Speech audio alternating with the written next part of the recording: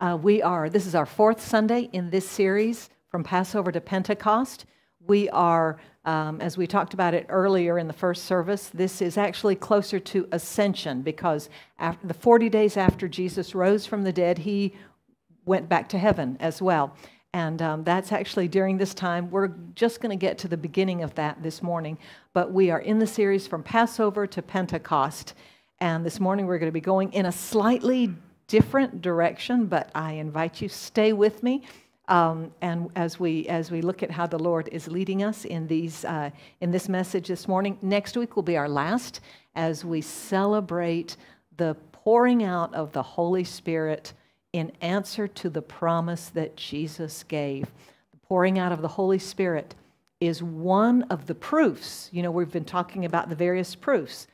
The pouring out of the Holy Spirit is one of the proofs that Jesus raised from the dead and returned to heaven.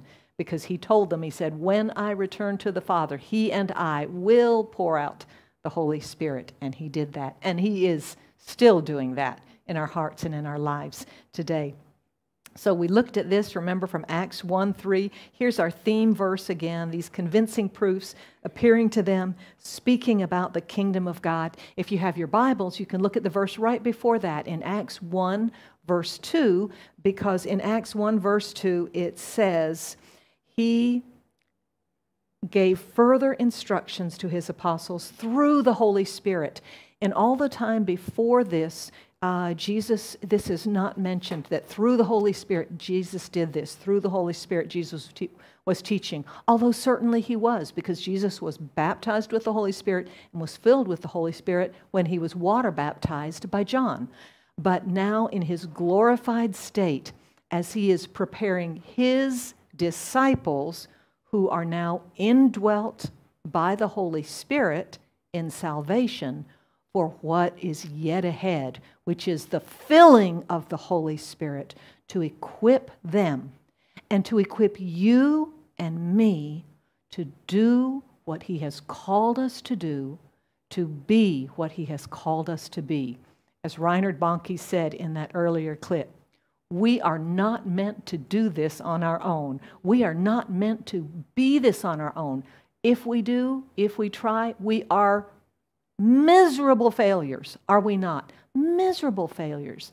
But Jesus and God the Father have sent the Holy Spirit, pouring him out in baptism and in filling that we might be overcomers, that we might be his message bearers, that we might be his witnesses in a world that is opposed to him, in a world that is broken and messed up and that needs him so desperately.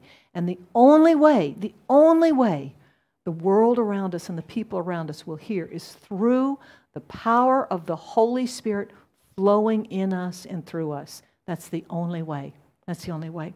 And so Jesus taught his disciples further and he prepared them for the time. So, we're going to talk this morning about food for a while. We're going to talk about meals this morning, and you're going to hear a few things at the beginning that I'll bet you never thought you would hear in a message, at least not at Lighthouse. Today's a really special day. Do you know what today is besides being Sunday, Ascension Sunday? Today is International Pickle Day. Did you know that? So, if you're going for a meal after, uh, after uh, service, maybe you could order pickles and sit around and fellowship over a meal of pickles. Maybe you missed what came earlier this week.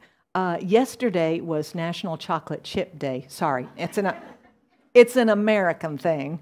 Um, I do apologize, but don't get too hung up on American thing because are we not during the Tuen Ng festival going to celebrate by eating zongzi, these dumplings all wrapped up in leaves. We certainly are. We certainly are. So it's not just a Western thing, is it? It's in it's these meals, these gatherings are in every culture. Uh, you may have missed two day, three days ago International Hummus Day. For those of you who love hummus, I, I am one of those.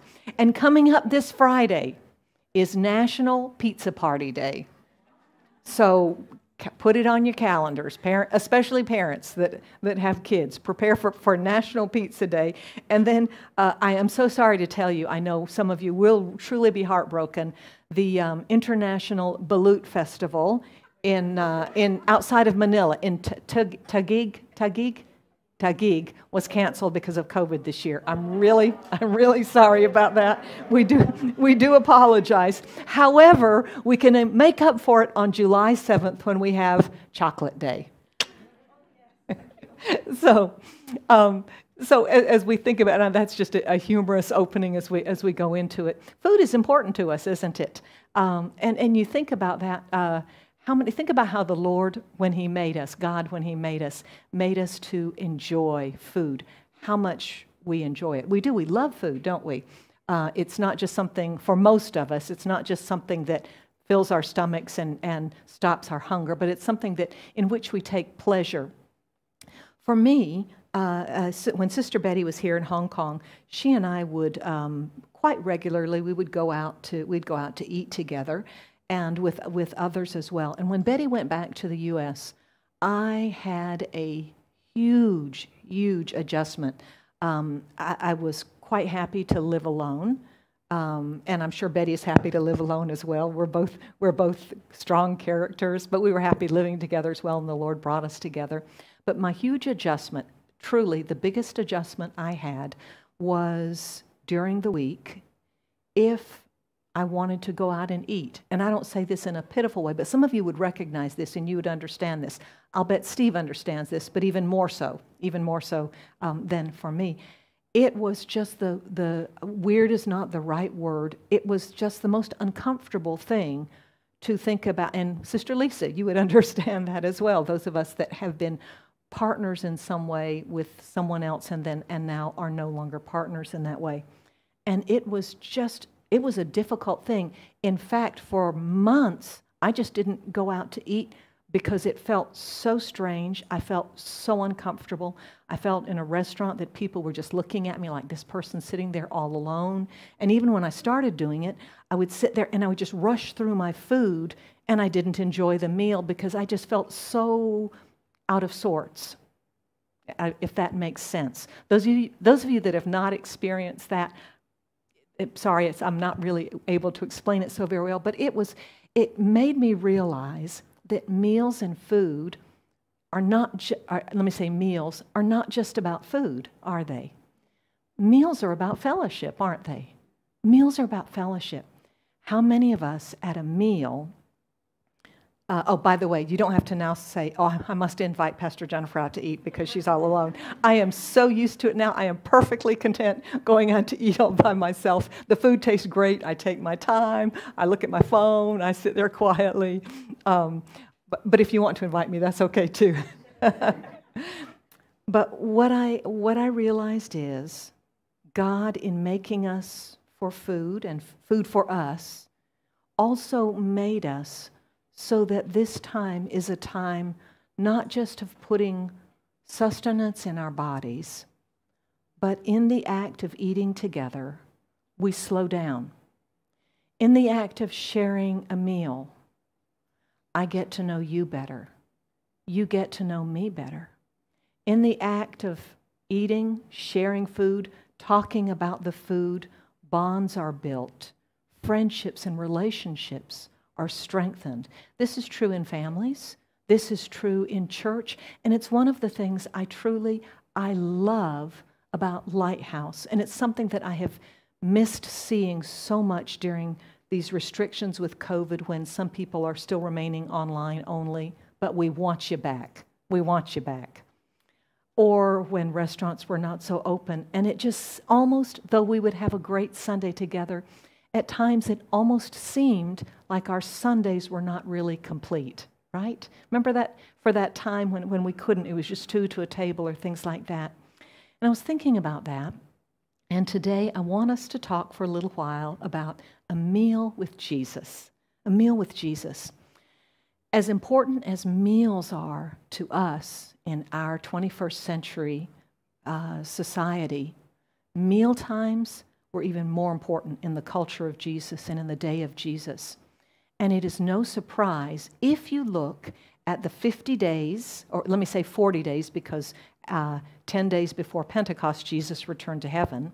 But in these 40 days that Jesus met with his disciples, in the eight mentions um, from Matthew, Mark, Luke, John, and the Gospel and, and the book of Acts, that at least half the times Jesus is with them, fellowshipping, and significant sharing and friendship and teaching, and things are happening over a meal, over a meal. And I don't think that's by chance.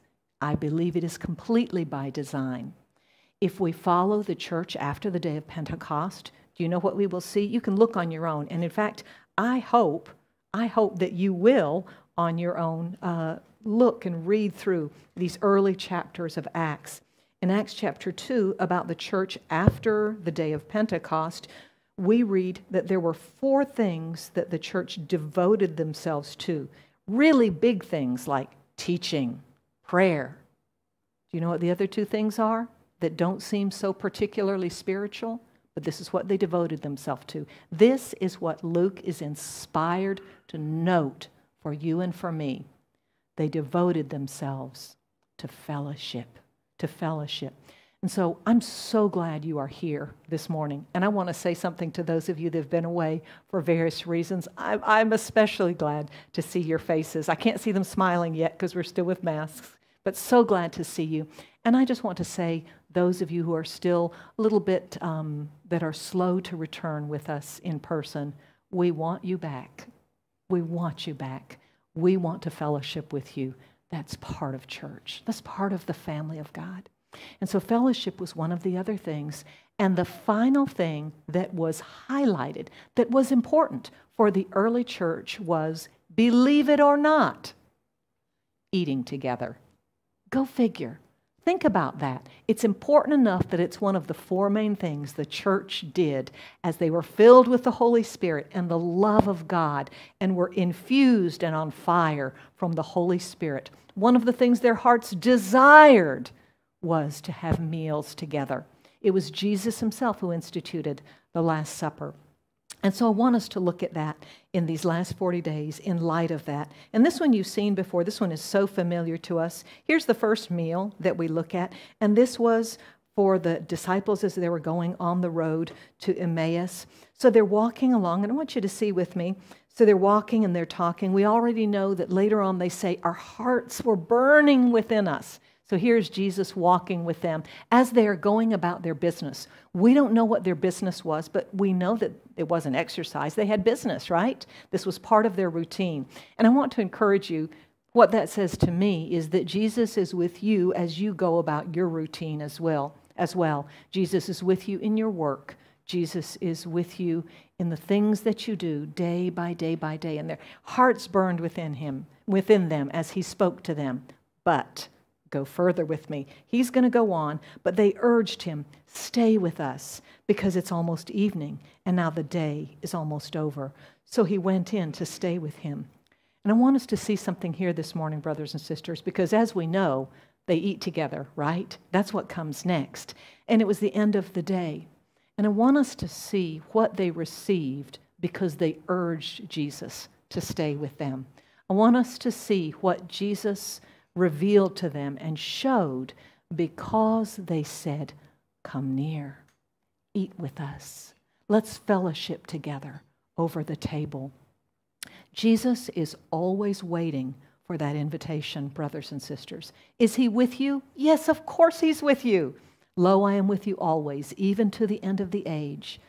But how many of us know that there is another level, a greater intimacy, a greater openness when you and I slow down, when you and I set aside the things that I need to do because I'm really busy and I've got this and I've got that. And instead, I say and I urge Jesus, Jesus, stay with me. Stay, stay. Let's, let's spend some time together.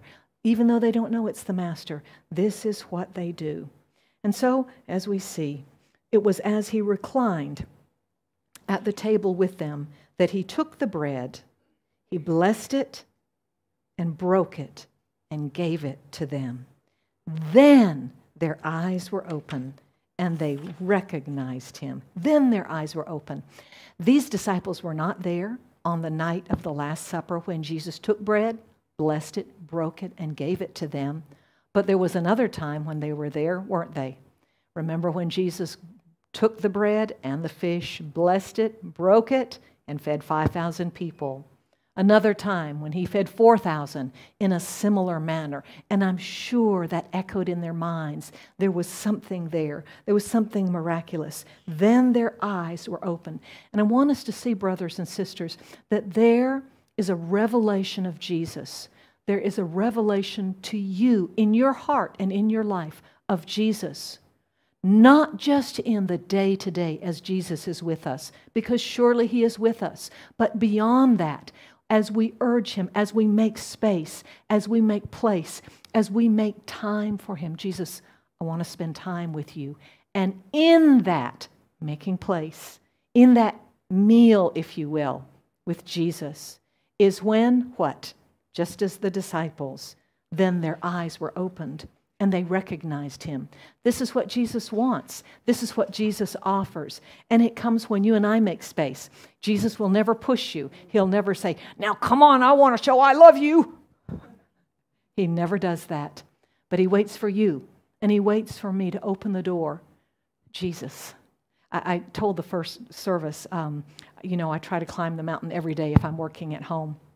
And I usually do it end of day because it's getting so, so hot these days. And I always have my phone with me. I don't want to be without it as I'm going, you know, on, on a mountain trail or whatever. And I'd gotten in the habit of getting to the top and then, because I'm really hot and sweaty, um, I sit down for a while and just look out. And it's a beautiful spot. It's really high, the valley, and then the clouds are rolling in. And there's usually a cool early evening breeze by this time. Birds are singing. I mean, it really sounds wonderful, doesn't it? But I had gotten in the habit of getting to the top, and instead of enjoying what Jesus had given me and time with Jesus, what I had started doing was as soon as I'd sit down, out would come my cell phone, and I'd start catching up because by then it'd be about 5:30, 6 o'clock. How many COVID cases today? What's happening? You know, this and that or whatever. How many of you know your schedule's kind of the same way sometimes, right? And I, the Holy Spirit began convicting me this week as I realized I was missing precious time with Jesus. There's nothing wrong with looking at our phones. There's nothing wrong with that.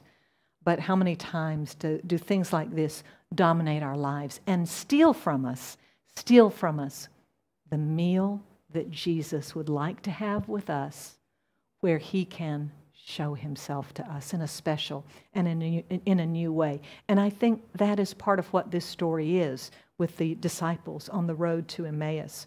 It goes a little bit further. They go running back uh, these two. Uh, we don't know how long it takes them, but I'll bet they returned faster than they left, right? It was about seven or eight miles from Emmaus back to Jerusalem.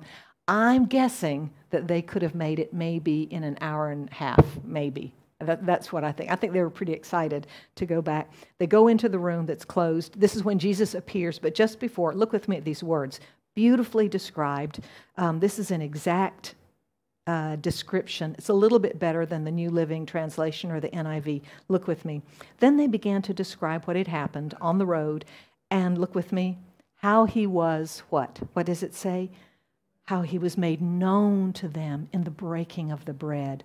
What evocative words for us. That is where he was made known. That's when you slow down. That's when you're together. When you eat a meal with someone, you're not 10 feet apart, are you? You're face to face, aren't you? You're up close. And this is what, here's a physical example for us. But, brothers and sisters, spiritually, this is what Jesus wants for us. This is what Jesus longs for with us. You know, have you thought about this before? Why? Really? Why should Jesus appear to these two disciples that we don't know much about? Wasn't it enough? I can understand Mary Magdalene. She's in the garden. I, I, can understand Peter because he'd blown it so badly. And of course, to the disciples that night in the room. Who cares about these two disciples on the road to Emmaus? Sooner or later, they would have heard Jesus has been risen, has risen from the dead. Nevertheless, sovereign God designed and planned that Jesus would just walk along beside them in their day to day, and that Jesus would show himself over a meal. May we learn from this meal with the disciples on the road to Emmaus. Amen?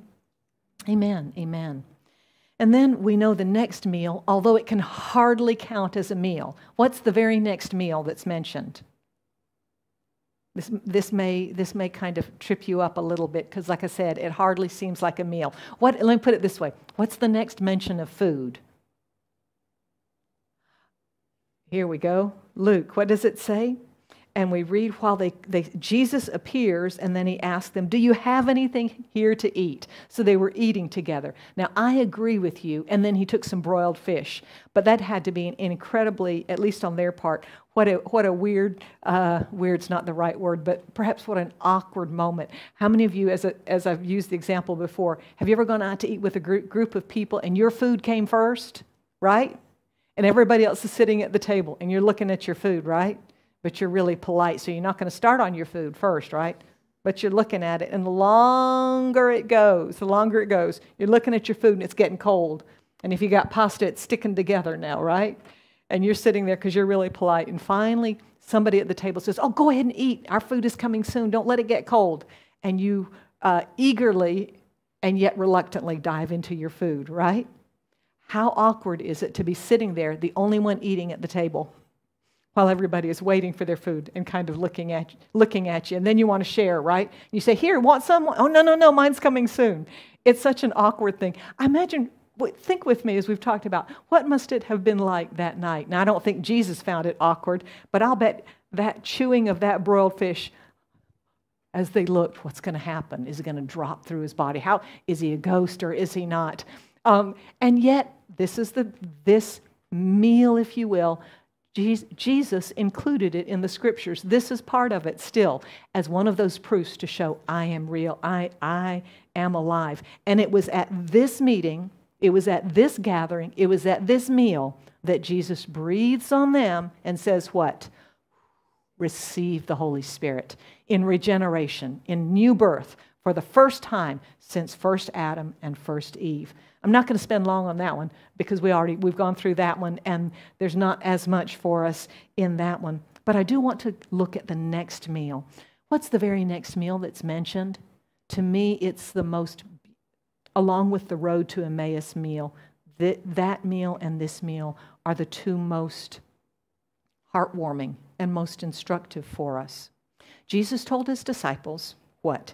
He said, Go ahead of me into Galilee, and I'll meet you in Galilee, and I'll meet you on a mountain in Galilee. And so we find this part, this next meal, in John. We find it in John chapter 21. Remember what we said?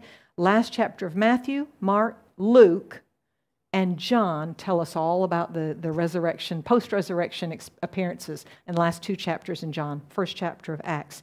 And so here we see this meal. And I, I asked in the first service, so I'm going to ask you too. Moms, especially, because that's usually who it happens for. Moms, how many of you, or maybe wives, how many of you have ever been served breakfast in bed? Pitiful, pit, uh, pitiful. Panina has, because she already told us in the first service. But she agreed, as I have thought about it. It's a most uncomfortable meal, isn't it? You're afraid you're going to knock over your milk. What if you spill something on the bed? Then who's going to wash the Who's going to wash the sheets? You are, right? Mom's going to wash the sheets. Breakfast in bed is, I think, maybe not such a great thing, but breakfast by the Sea of Galilee with Jesus is special indeed. And this is how it comes about. Look with me. You know this story so well. They've gone back up to Galilee because Jesus said, Go up there and I'm going to meet you there. Probably because it was out of the view of the authorities, probably because that was his home area. Many disciples would have been there. Um, Paul later says he appeared to 500 people. Probably this is when. It's probably in Galilee, though we don't know for sure. But anyhow, they are up there. Um, the disciples are there. Are all of them at this breakfast? No, not all of them are at this breakfast. But who is there at this breakfast? Several of them were there Simon Peter, Thomas, Nathaniel, and the sons of Zebedee. Who are the sons of Zebedee? James and John, right? The sons of Zebedee, and two other disciples. We don't know who the other two disciples are, but perhaps Andrew, because he's also a fisherman, right? And Peter says, I'm going, whoops, sorry. And Peter says, I'm going fishing. Why? They have to eat. They have to, they have to live. Jesus has been appearing and disappearing, but Jesus has already been telling them um, he's going to go and he's going to leave them. So in a way, it sort of it sort of makes sense, doesn't it? Um, well, what are we going to do next? I, have got to eat. And so he says, I'm going fishing. Um, Peter's leadership skills were great. Peter's direction was not always so great. We'll come too, they all said. So they went out in the boat, but they caught nothing all night. So this gives us the setup for the meal that is coming next. At dawn, Jesus was standing on the beach. In just a few verses, we'll read he was about a, a hundred yards, hundred plus meters out in the lake. It was very early in the morning, so maybe the, the light is not very bright yet. And they don't recognize that it's Jesus, even though he talks with them. Is it just because of natural things? It may be, but it may also be there's a spiritual aspect to it as well. The disciples couldn't see who he was. And then he called out to them, Fellows, do you have any? Sorry, let me put it this way. You don't have any fish, do you? Now that makes sense to us. Jesus knew they didn't have any fish, didn't he? He knew that because he was going to do something. He was going to work a miracle. He was going to work a miracle very similar to the miracle that he worked when he first called them. Do you see the significance and the importance of this time and of this meal? He's getting ready to leave them. In the beginning, he said, Hey, Come with me. I'll make you fishers of men. Remember that? They're by the, they're by the ocean. He says, Here, push out deeper, not ocean, Galilee, sea, lake. Push out and to the deeper water, and you'll catch fish. And Peter says, Well, if you say so, uh, but you're a rabbi and I'm a fisherman. But he does it nevertheless. They catch fish, and it's so many fish that the nets are breaking. And remember, when, we, when you see that, let me see if I can there. It's in Luke. We worked hard all night. They shout, a shout for help brought their partners. Who are their partners? James and John, right? James and John are their partners. Look with me at this. In this miracle, what does Simon see, realize? He realized what had happened, and there was a revelation, a beginning revelation. Jesus is from heaven, Jesus is holy, and I am not. I am not. And he sees in that he sees in that the miracle. And so this was at the beginning. But now this is at the end because Jesus is getting ready to go back to heaven. What are these disciples going to do? Jesus said, Follow me. But how are they going to follow him? Because a few days after this, they're not going to see him anymore. And so, who are they going to follow? How are they going to follow? What are they going to follow? And it is the same question, brothers and sisters, for you and for me as well. So Jesus says, You don't have any fish, do you? He knows what he's going to do already. He knows they don't have any fish, even though he's a 100 yards from the shore and it's early morning, because he's Jesus. Because he's Jesus. Do you know, brothers and sisters, when Jesus asks you something, do you know that he never asks to get information? He already knows. It's to do something in our thinking and to do something in our hearts, isn't it? And they reply, I like this. Look how look look at their reply. Don't be too hard on them. You would think the same way. What is hey, you haven't caught any fish, have you? What do they reply? No. We don't like that answer, do we? But we're the same way sometimes. And then he said, Throw your net out on the right hand and you'll get some. So they did, and they couldn't haul in the net because there were so many fish. And so, as we look at this, what happens next? Therefore, the disciple, John, the one whom Jesus loved, said to Peter, It's the Lord. And he's reminded of that first miracle, right? When the nets were almost breaking from fish. And when it happens again, John realizes. Do you know what? If you look at the scriptures, if you look at the gospels, you will see that almost always, of all of the disciples, John receives revelation first. I think it had something to do with his heart and his closeness to Jesus. Peter almost always acted first, but John almost always had revelation first. And John is the one who turns to Peter. He says, It's the Lord, it's the Lord. Now, what does Peter do? I love this so much. It really it really helps me see that it's Peter. What does he? Peter says, excuse me, it's the Lord. And so Peter is wearing, the best way to say it is he's wearing his underwear. That, that's the best way to say it because they're fishing, right? We're laughing, we think. But now, before you laugh too much at this, how many of you would want to appear before Jesus in your underwear? You, you, you know what I mean. And so Peter grabs his cloak, his robe. This is how we know it's Peter. He, gra- he grabs it, he puts it on because you got to wear clothes to meet Jesus, right? And then what does he do? He jumps in the water, gets completely wet, and swims all the way to, to land. Wouldn't you think that he would take his clothes and swim like this all the way to the shore and then put his clothes on? But no, Peter, impulsive as always. And you know, brothers and sisters, I think Jesus loves you as you are. Are there things that Jesus wants to change and is going to change in you? Sure, there are. But you know what? Just as he loved John, that gentle disciple who leaned close to him, who was so close to him, he just as surely loved impulsive, loudmouth Peter as he was as well. And so they arrive. The others stay with the boat. I would have been upset with Peter because they have to do the hard work. They pull the net to the shore. They're about 100 yards out. And now here we come to the meal. And this is what I want us to see as we look at this. When they got there, they found breakfast waiting for them. Here's the meal fish cooking over a charcoal fire and some bread. And I want us to see this, and this is where we will. I'm just looking at the time. We may not get to the last meal. Maybe we're going to do the last meal next week. The last meal is the meal that he eats just before he goes to heaven. He's eating with them, and he says, Wait for the Holy Spirit. Wait here. And then he goes back to heaven and he prepares them. But in this meal, with this charcoal fire, think with me about this. Where did Jesus get that fish, and where did Jesus get that bread? It's at dawn and it's fresh fish. Where did Jesus get it? You think he went to a store to buy it? Of course not. He's Jesus, right? He's Jesus. And he has bread and he has fish waiting for, for them. And I want, I want you to see the mundane and the miraculous in this. Were they hungry?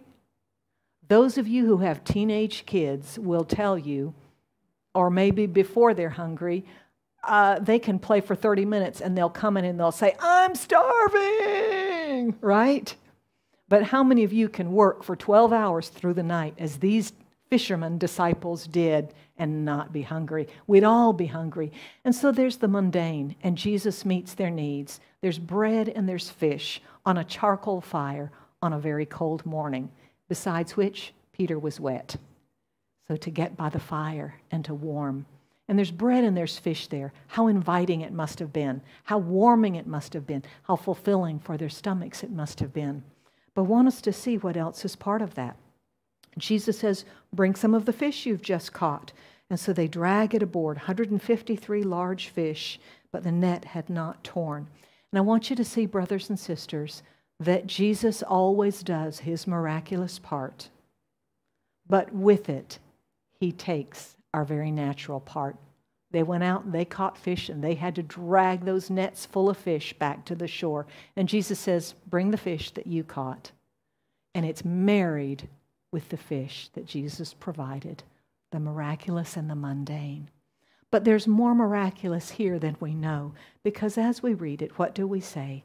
Jesus invites them, Come and have some breakfast. They knew it was Jesus. And then he served them the bread and the fish. Here's the other miracle of this we don't read Greek, but if we did, we would see that this says Jesus took the fish, singular, that was on the coals, and he took the bread, singular, that was there. And he took it and he gave it to them. How can one fish how can one piece of bread feed seven hungry men? In the hands of Jesus, everything can be multiplied. In the hands of Jesus, your limited resources, your weakest efforts in his hands can bring a miracle to many. And that's what we see in this meal. But there's one more thing that we see in this meal because there's still some unfinished business. Peter is there. He was the first one. He jumped out of the boat. He swam to Jesus. He wanted to get close to him. And as he's standing around the charcoal fire, warming himself and eating, there's one other piece of business that has to be dealt with. Because this charcoal fire, this word, this expression is a very special word. Do you know that this only occurs two times in the whole Bible? This expression, charcoal fire, in the Greek. It only occurs two times. One time is right here. Do you know when the other time is? Go back just a few chapters. And John uses this expression again. And John was there the first time as well. And the only other time a charcoal fire, exactly these words are mentioned, is when Peter stood by a charcoal fire in a cold night, warming himself, while his master, Jesus, was being unjustly tried and accused. John was there also. And it was by that charcoal fire that Peter, I don't know him, publicly swearing three times. And so at this meal, there's still unfinished business. It's not coincidence, brothers and sisters, that this charcoal fire, that he's inspired to use these words again. Because after they've eaten, Jesus says, Simon, Peter, do you love me? Ouch. Now remember, Jesus never asks us a question to get information, he already knows. And how many times does Jesus ask Peter? Does he take him off to the side so that they can have a private conversation? No, he does it with the other di- disciples. Why? Because Jesus is being mean? Because Jesus is going to rub his nose in it? Because I'm going to get you back because you denied me after all I've done for you? None of these things. Jesus is not like that. But there is unfinished business. And, brothers and sisters, Jesus always takes care of unfinished business. You and I would like to move on from unpleasant, unfinished business, wouldn't we? Of course we would. We'd like to move on. But Jesus doesn't. Why? Because Jesus has to get Peter ready for the next meal when he says, Wait here, I'm giving the Holy Spirit. You're going to go out and tell the world about me. But if there is unfinished business in Peter's life and in the hearts and the thoughts of the other disciples, Peter will never be who Jesus wants him to be. Peter will never do what Jesus wants him to do. And it is no different with you and with me, brothers and sisters. It is exactly the same with each one of us.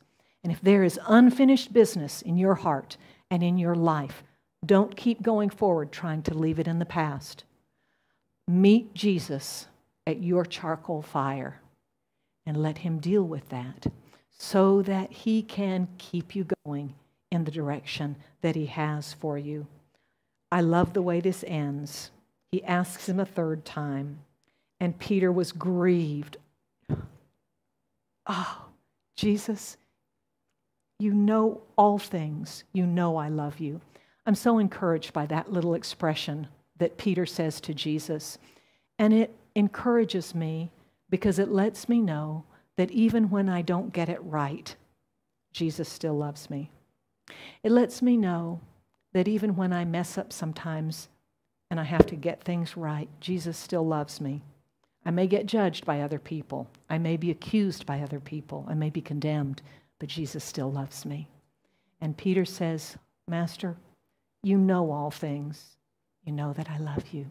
And I want to encourage you this morning if you have not done so well in a particular area, it does not mean that you don't love Jesus. It does not mean that. But Jesus does want to take care of it. Jesus does want to handle it so that you and I can keep on going in the way that He wants us to. Amen. Amen. Amen.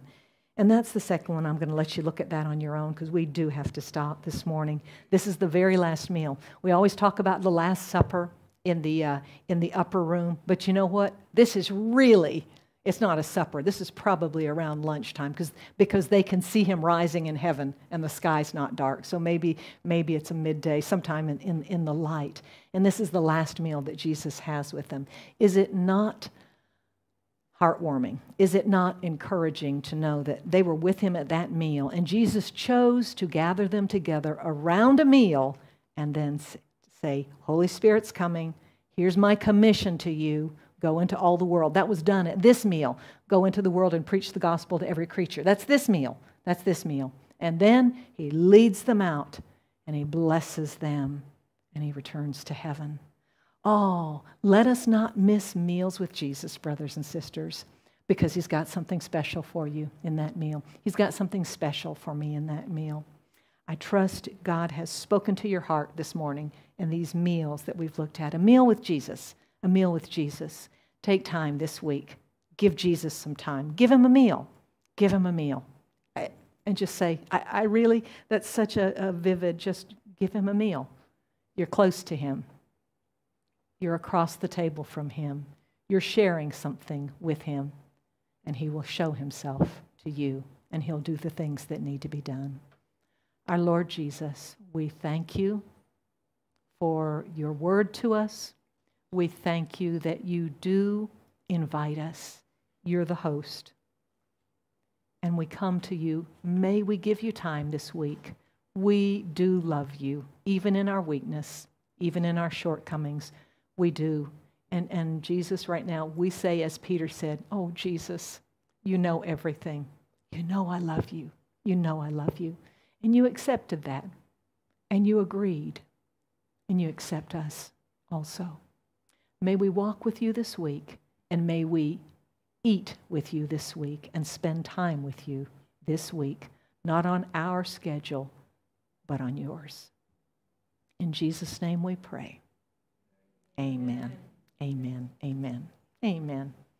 God bless you, brothers and sisters. God bless you. Have a great week. I am praying for you each day.